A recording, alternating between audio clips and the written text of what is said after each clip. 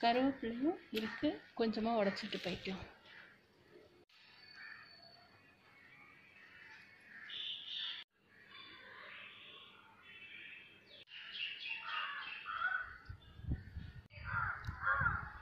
எங்கள் வீட்டுக்கு கீழே சுண்டக்காய் மரத்தில் சுண்டக்காய் காய்ச்சிருக்கு இதை பறிச்சுக்கிட்டு ஏதாவது இதில் புளிக்குழம்பு ஏதாவது செய்யலாம் அப்படின்ட்டு. சும்மா ஜஸ்ட்டு அவங்க கூட ஷேர் பண்ணிக்கிறதுக்காக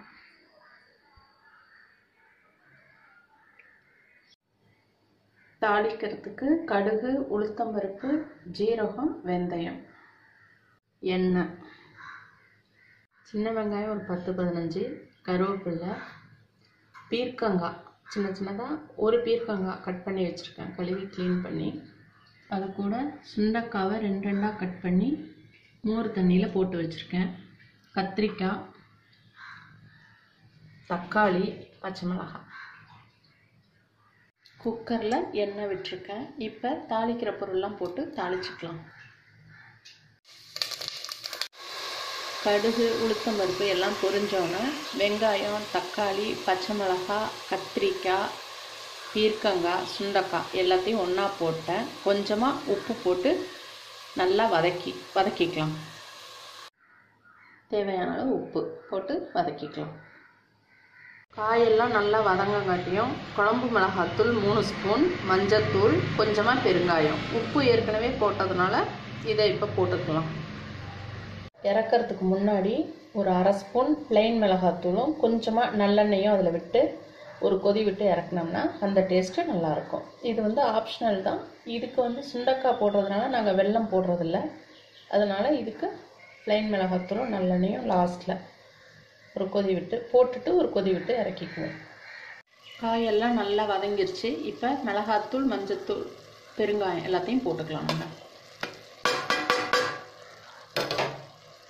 காயெல்லாம் நல்லா மிக்ஸ் ஆகாங்காட்டியும் காய் மிளகாத்தூள்லாம் மிக்ஸ் ஆகாங்காட்டியும் ஒரு எலுமிச்சங்காய் அளவு புளியை கரைச்சி வச்சுருக்கேன். மிக்ஸ் ஆனோன்னே அந்த புளி தண்ணியை அதில் விட்டுறலாம். காயில் மிளகாத்தூள் எல்லாம் நல்லா மிக்ஸ் ஆயிடுச்சு இப்போ கரைச்சி வச்ச புளியை அதில் விட்டுறலாம்.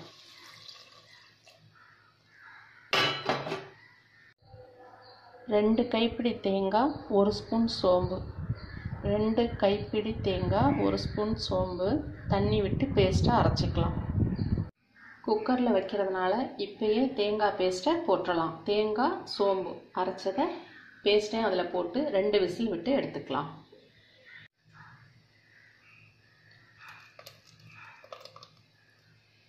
உப்பு காரம் புளி எல்லாமே இப்போ பார்த்துக்கலாம் ரெண்டு விசில் விட்டு எடுத்துக்கலாம். ரெண்டு விசில் விசில் சத்தமெல்லாம் அடங்கிடுச்சு இப்போ எப்படி இருக்குன்ட்டு பார்க்கலாம். இப்போ இது கூட அந்த பிளெயின் மிளகாத்தூள் கொஞ்சமாக நல்லெண்ணெய் விட்டுக்கலாம். ஏற்கனவே நல்லெண்ணெயும் கடலெண்ணையும் மிக்ஸ் பண்ணி தான் நான் விட்டுருக்கேன். இப்போ கொஞ்சமாக நல்லெண்ணெயும் விட்டு கொதி விட்டுட்டு அந்த மிளகாத்தூள் பச்சை வாசனை போனோன்னே இறக்கிடலாம் நம்ம. பிளைன் மிளகாத்தூளும் போட்டேன். இப்போ கொஞ்சமாக ஒரு அரை ஸ்பூன் கிட்ட நல்லெண்ணெய் விட்டுக்கலாம்.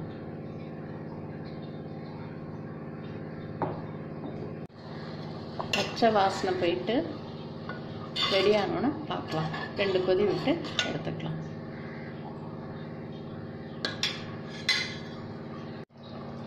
பச்சை வாசனை எல்லாம் போயிடுச்சு ஓரமாக எண்ணெயும் மிதந்து வந்துருச்சு. இப்போ வந்து ஆஃப் பண்ணிக்கலாம். இது கொஞ்சம் தண்ணியாக இருந்தால் நல்லாயிருக்கும். அதனால் இன்றைக்கி சாதத்தில் போட்டு பிசைஞ்சு சாப்பிட்றதுனால தண்ணியாக வச்சுருக்கேன். இதே இட்லி தோசை அது மாதிரி பொங்கல் அது மாதிரி உள்ளதுக்கு தொட்டுக்கணும்னா கொஞ்சம் கெட்டியாக வச்சுக்குவேன். இது தயிர் சாதத்துக்கு இல்லை இதை நல்லா சுண்டை வச்சுட்டு தயிர் சாதத்துக்கு தொட்டுக்கிட்டாலும் டேஸ்ட்டாக இருக்கும். இந்த சமயத்தில் இருக்கிற ரெண்டு மூணு கத்திரிக்காய்.